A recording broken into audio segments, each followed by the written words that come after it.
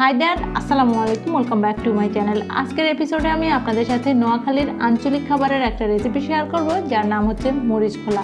আমি আশা করি আমার আজকের এই রেসিপি আপনাদের ভালো লাগবে, তো চলুন আমরা তৈরি করে নিচ্ছি মরিচ খোলা। মরিচ খোলা করার জন্য আমি এখানে একটা বাটিতে কয়েকটা মলা মাছ নিয়ে নিয়েছি। মাছটাকে আমি কেটে ধুয়ে পরিষ্কার করে নিয়েছি। তো মলা মাছটাকে নোয়াখালীর আঞ্চলিক ভাষায় কাসকি মাছ বলা হয়। কাসকি মাছের সাথে দিয়ে দিচ্ছি পেঁয়াজ কুচি, কাঁচামরিচ কুচি, আর দিচ্ছি ধনে পাতা কুচি।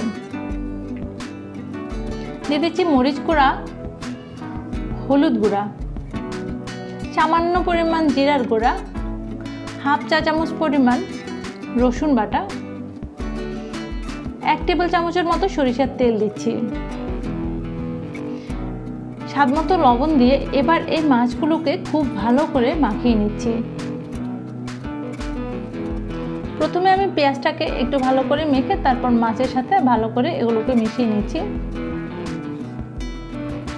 মিশানো হয়ে গেছে। এবার আমি মাছটাকে একটা সাইডে রেখে দিচ্ছি।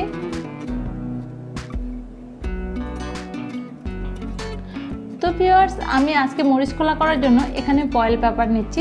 তবে নোয়াখালীতে এই কাজটা কলা পাতায় করা হয়। যাকে নোয়াখালীর ভাষায় কলার বরক বলা হয়, তো বরকের ব্যবস্থা আমার কাছে ছিল না বলে আমি পয়েল পেপারে এই কাজটা করছি। আপনারা চাইলে যদি কলা পাতা পান, তাহলে কলা পাতায় করে নিতে পারেন। তাতে খাবারটা আরও বেশি টেস্টি হবে, যেহেতু তাতে আঞ্চলিকতা থাকবে। আর আমি একটা পয়েল পেপারকে ডাবল পার্ট করে নিয়েছি, তারপর মাছগুলোকে পয়েল পেপারে বিছিয়ে নিচ্ছি। এবার একটা চামচ দিয়ে ঠিক এভাবে করে মাছগুলোকে পাতলা করে ছড়িয়ে নিচ্ছি। দিয়ে দিচ্ছি দু চা চামচের মতো আবারও সরিষার তেল। আর যে বাটিতে আমি মাছটা মেখেছি, সে বাটিটা ধুয়ে এক টেবিল চামচ কিংবা দুই টেবিল চামচের মতো পানি দিয়ে দিচ্ছি। তারপর ঠিক এভাবে করে পয়েল পেপারটা ভাজ করে নিচ্ছি। তবে কয়েল পেপারে করার একটা সুবিধা হচ্ছে, এতে কোনো রকম পানি কিংবা ঝোল বের হয়ে যাবে না, যেটা কলা পাতায় করলে মাঝে মাঝে বের হয়ে যায়। এরপর আমি এই পয়েল পেপারটাকে একটা শুকনো খোলায় দিয়ে একটা ঢাকনা দিয়ে ঢেকে দেবো। চুলার আঁচটা কিছুটা লোয়ে রেখে এই রান্নাটা করতে হবে। পনেরো থেকে বিশ মিনিট পর আমি একবার মাছগুলোকে দেখে নিচ্ছি।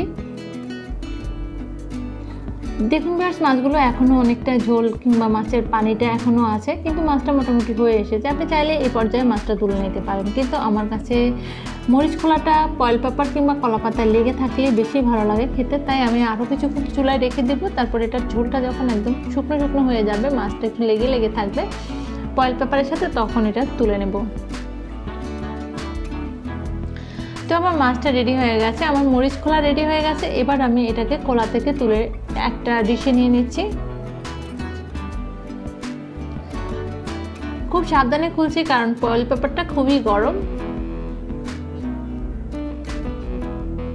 তো ভিউয়ার্স তৈরি হয়ে গেল আমাদের আজকের মরিচ খোলা। আমি আশা করি আমার আজকের এই রেসিপি আপনাদের ভালো লেগেছে। বাসায় ট্রাই করলেই বুঝতে পারবেন এটা আসলে কতটা টেস্টি তো যদি ভালো লেগে যায়, তাহলে অবশ্যই একটা লাইক করবেন কমেন্ট করবেন শেয়ার করবেন আপনার ফ্রেন্ডস অ্যান্ড ফ্যামিলির সাথে। আর আমাকে সাপোর্ট করার জন্য অবশ্যই আমার চ্যানেলটি সাবস্ক্রাইব করবেন।